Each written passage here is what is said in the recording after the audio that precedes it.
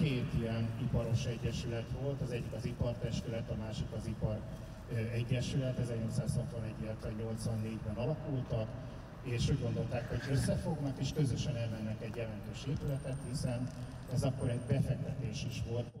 Kecskemét belvárosának egyik ikonikus polgári épületéről a Lechner iskolát követő Kobalt Valcer és Jakab Dezső páros által tervezett iparos otthonról is mesélt szombaton ifjabb Gyergyádesz László művészettörténész, a Csak Kecskemét példáját kell utánozni címmel szervezett városnéző sétán.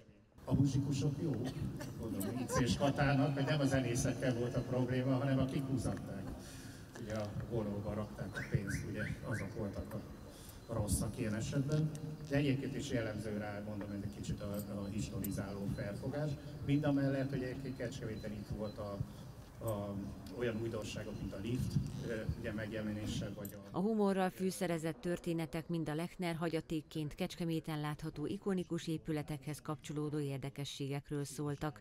Az épületek sorából egyértelműen kiemelkedik a Városháza, amit a közönség felújított formájában csodált meg a legszebb városháza Magyarországon, és ugye azt is tudjuk, hogy akkor, amikor fölépült, a Budapesti Műszaki Egyetemen példának tekintették ezt, és megjelent az akkori kiadványokba, az 1893 és 1897 között épült Lechnerödön és Pártos Gyula által tervezett Kecskeméti Városháza díszterme teljesen megtelt az érdeklődőkkel.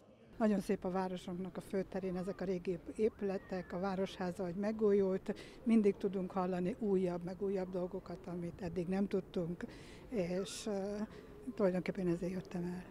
A szecessziós magazin, a Kecskeméti Katona József Múzeum és a Petőfi Kulturális Ügynökség közös sétája időrendi sorrendben mutatta be Kecskemét főterén a magyar szecessziós építészet két évtizeden át tartó kalandját.